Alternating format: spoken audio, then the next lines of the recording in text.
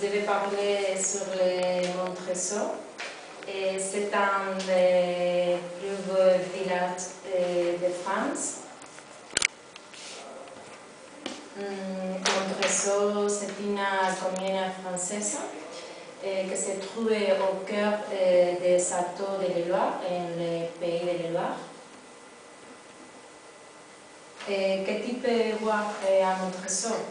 Tu peux voir les châteaux, la halle de Cardo à Montresor, la collégiale et le lavoir.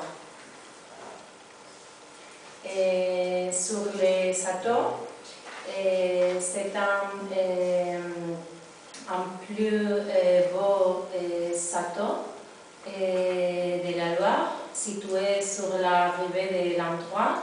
Et ce château accepté par Xavier Graniti, et qui le restaure et, et le meuble. et le meuble.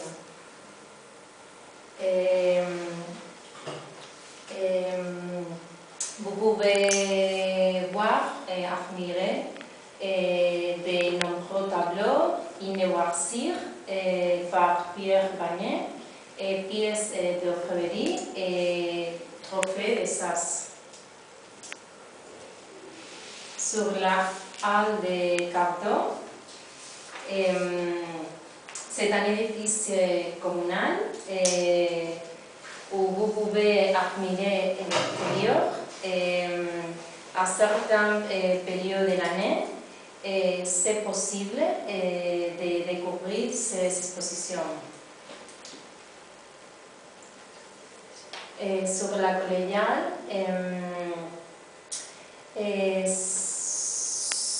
c'est considéré l'architecture de la première Renaissance. Et à l'intérieur se trouvent les tombeaux, les tombeaux euh, d'Imbert, euh, sa fondateur, euh, sont exposés et, et, leur, fils. Et à l'extérieur, vous pouvez admirer beaucoup de Et finalement, euh, vous pouvez euh, disfruter de la nature le soir à Montresor. Et vous pouvez apprendre à pied, à cheval ou à vélo la vallée de Verdoyan, de l'endroit.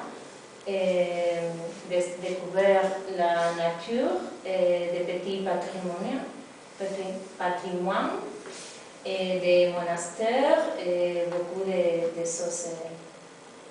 C'est tout.